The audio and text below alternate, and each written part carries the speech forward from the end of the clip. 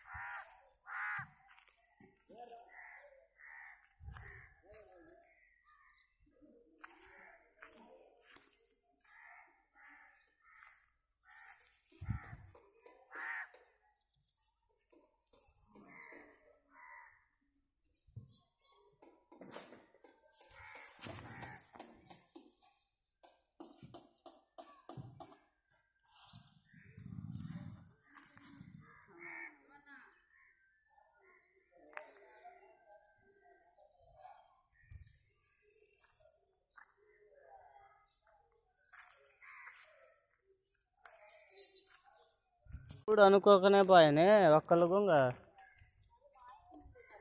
నువ్వు?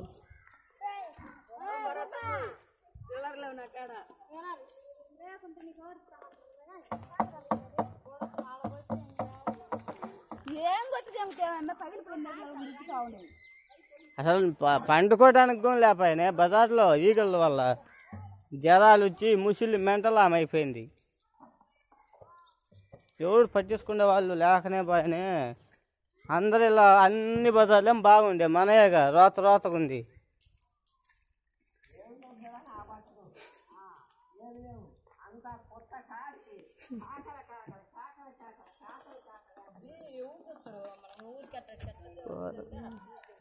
చూడండి అన్న ఎంత బుద్ధి అసలు మేము. పండుకోవడానికి కూడా లేదు. ఈ రొచ్చు రొచ్చు.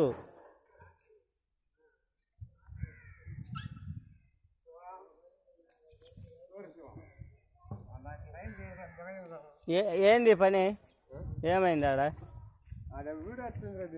పగి పైప్ పగిలిందిగా పక్కల ఆయన పగిలి లెక్కైతే పెట్టాం కాడ కరెంట్ పోనీ ఇప్పుడు మళ్ళీ నీళ్ళు వస్తుందిలే వస్తున్నాయి అయ్యో వాగులు వాగులు వస్తా